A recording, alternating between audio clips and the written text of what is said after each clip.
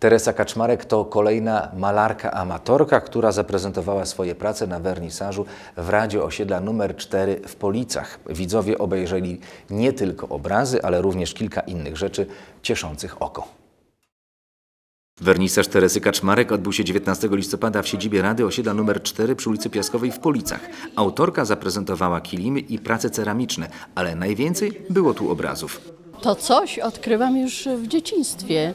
Tylko y, tak na poważnie to zaczęłam malować, jak poszłam na emeryturę.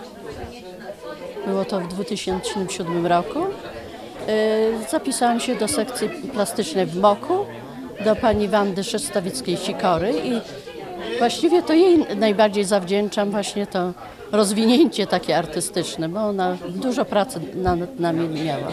Teresa Kaczmarek jest członkinią Polickiego Uniwersytetu Trzeciego Wieku i uczestniczy w zajęciach sekcji plastycznej. Chętnie wykonuje prace rękodzielnicze, ale najchętniej oprócz malarstwa wykonuje prace ceramiczne.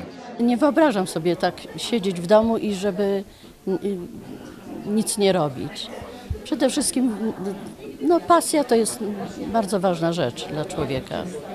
Ma przynajmniej y, cel jakiś i go realizuje. Rozwijanie pasji to dla pani Teresy ważna część życia. Ze wszystkich swoich zainteresowań najbardziej lubi malować i lepić w glinie.